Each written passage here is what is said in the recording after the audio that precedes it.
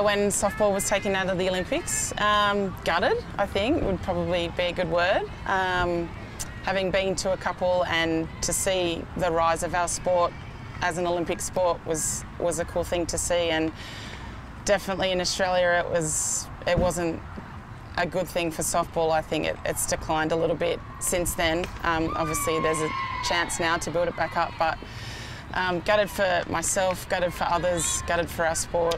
Um, yeah, it's, it's just a really cool thing and a pinnacle that everyone wants to get to. So it was, yeah, it was really sad.